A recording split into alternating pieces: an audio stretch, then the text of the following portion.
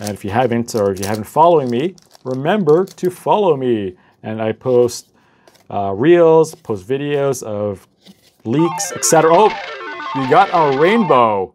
This is the second rainbow card that we got here.